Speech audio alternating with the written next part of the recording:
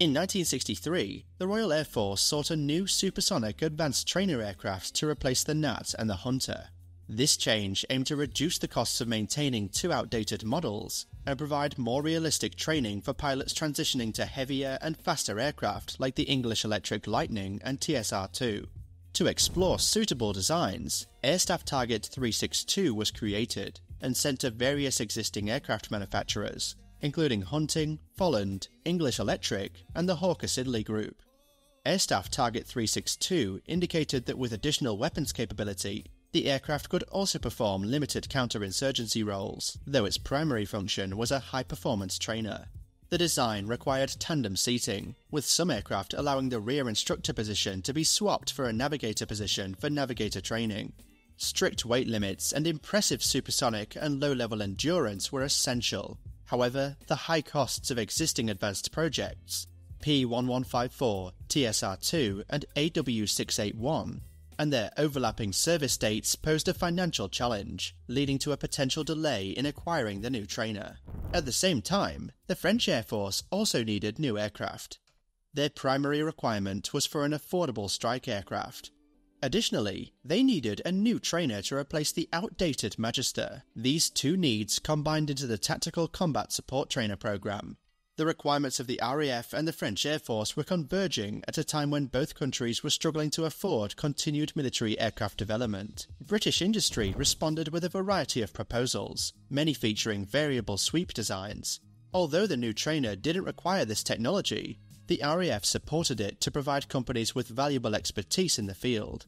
Initially, the RAF aimed to have the trainer operational by 1970, prompting companies to claim they could deliver in unrealistically short timeframes. By mid 1964, the RAF recognised that their best chance of acquiring the new trainer was through collaboration with the French. This cooperation was formalised with a Memorandum of Understanding to jointly develop an aircraft meeting both requirements. However, by mid 1965, Britain's financial difficulties led to the cancellation of the RAF's new strike and transport aircraft projects leaving the RAF with a new trainer project for aircraft that were no longer being developed. Meanwhile, the French had conducted a competition to select a domestic aircraft, choosing the Breguet BR-121. When the cooperation agreement was signed, Britain agreed to base the new design on the BR-121. The issue of variable sweep and the cancellation of the new strike jets was addressed by initiating another project, the Anglo-French variable geometry, to appease the BAC.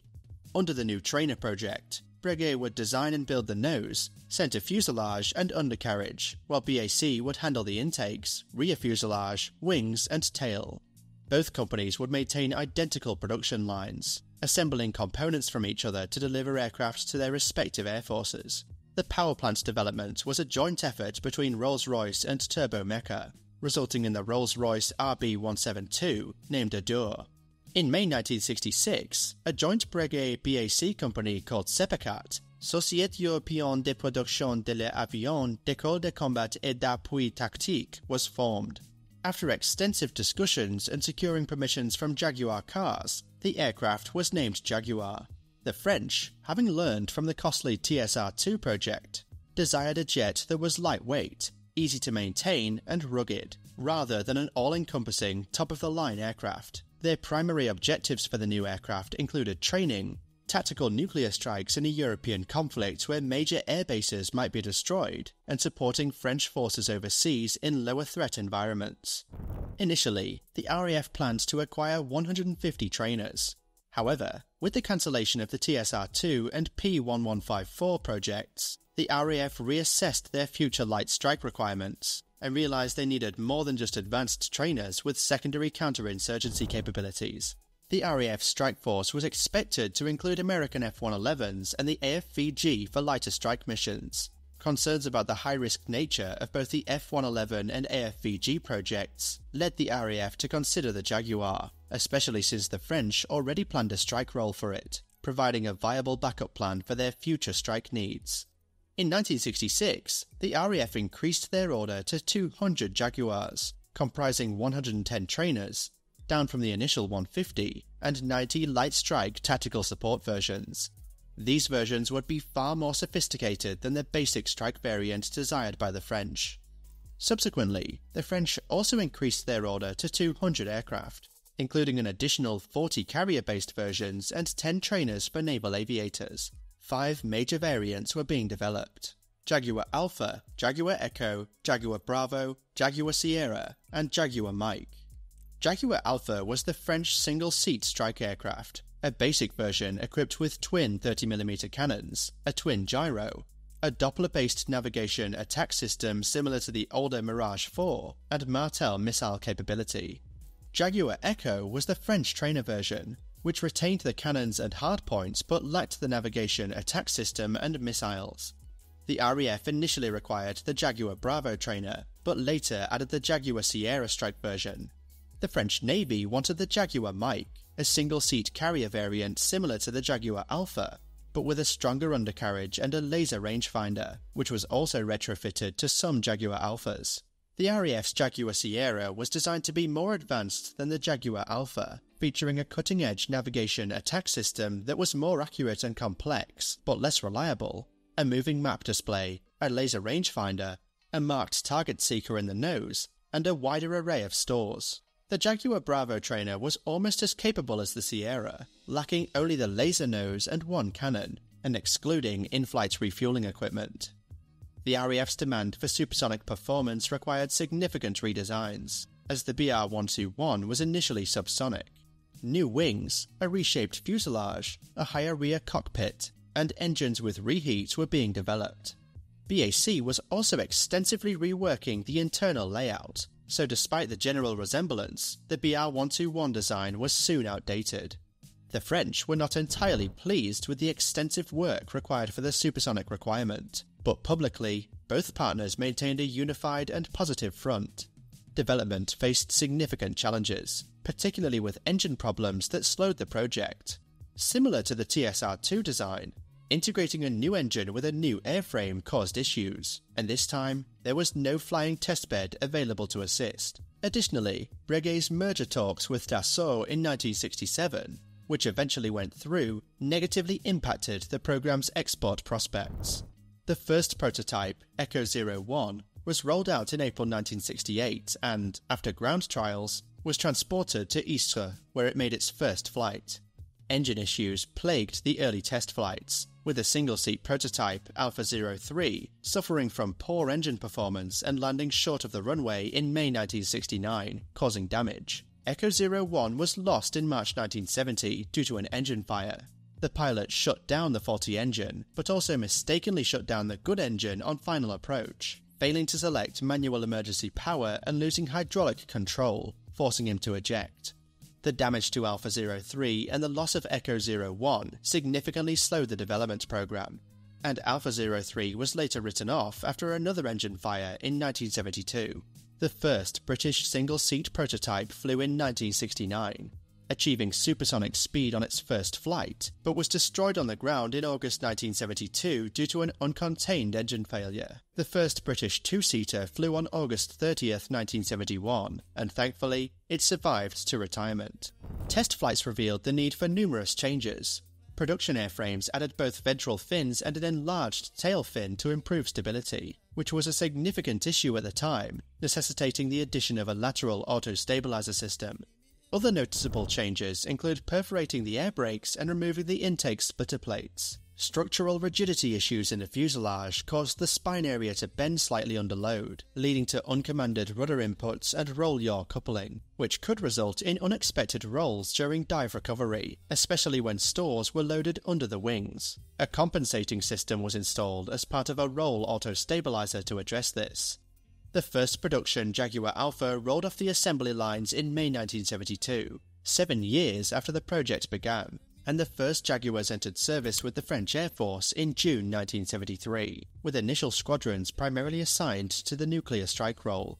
This capability was demonstrated in July 1974, when a Jaguar Alpha dropped an 8 kiloton AN 52 tactical nuclear bomb on the Mururoa Atoll. In 1970, the RAF decided to abandon using the Jaguar as a trainer for anything other than training Jaguar pilots. They revised their order to include 165 Jaguar Sierra aircraft and only 35 trainers. Shortly after, they authorized Hawker Siddeley to proceed with the HS-1182 project. later named Hawk, to meet their trainer requirements.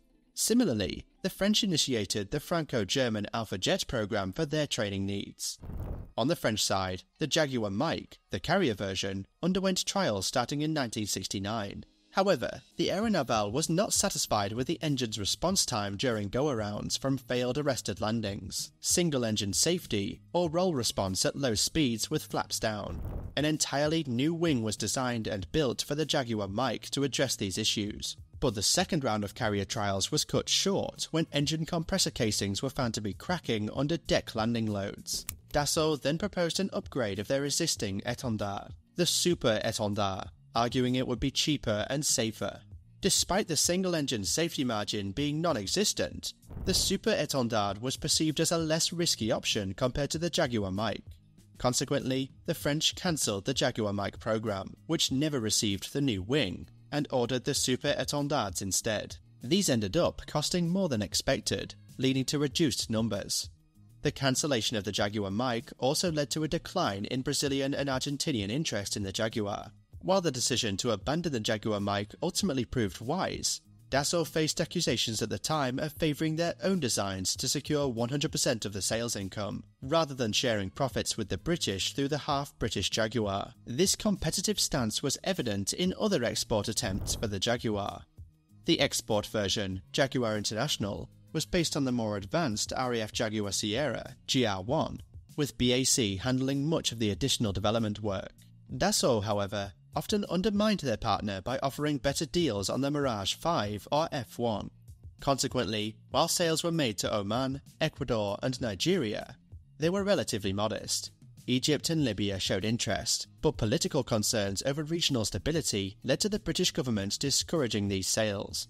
The significant success came with India, which ordered 160 Jaguars, primarily to be built locally by HAL. In September 1974, the Jaguar OCU was redesignated as 226 OCU, inheriting the number from the former Lightning OCU disbanded at Coltishall in June. Subsequently, 54 and 6 squadrons formed with the new aircraft, and RAF Germany restructured, assigning 6 squadrons to the Jaguar, replacing Phantoms and Harriers. Initially, the RAF's Jaguars were underpowered and plagued by an unreliable navigation and weapon aiming system, the aircraft could be challenging to fly, prone to sudden and unforgiving departures from controlled flight at the edges of its performance envelope. With its small swept wing, carrying heavy loads on operational missions further reduced its performance margins. An audio warning system was installed to alert pilots at critical angles of attack related to the store's configuration, which pilots ignored at their peril, leading to frequent training losses. In April 1975, the Jaguar gained significant attention when BAC demonstrated its capability to use a motorway as a runway. A GR-1 landed on the nearly completed M55, was armed with four bombs, and took off again. Despite its rough field capability, the Jaguar rarely needed to use it in service, as the Soviets never targeted RAF runways during the Cold War. The development and deployment of the Jaguar aircraft were marked by numerous challenges and strategic decisions, Initially intended as a supersonic advanced trainer to replace outdated models, the collaboration between the RAF and the French Air Force evolved into a complex project that faced financial, technical, and political hurdles. Despite engine problems and the eventual abandonment of the Jaguar Mike variant, the Jaguar proved its versatility and capability, particularly with the RAF's advanced Jaguar Sierra model. The aircraft's deployment spanned multiple roles, from training to tactical nuclear strikes, highlighting its adaptability. The Jaguar's significant export success with India and its operational presence in various RAF squadrons underscored its impact. Notably, its demonstrated rough field capability, though rarely utilized in service, showcased its innovative design. Overall, the Jaguar program exemplified the difficulties and triumphs of international military aircraft development, if you enjoyed this content, don't forget to hit the like button, subscribe for more, and ring that notification bell to stay updated on our latest posts. Thank you for your support.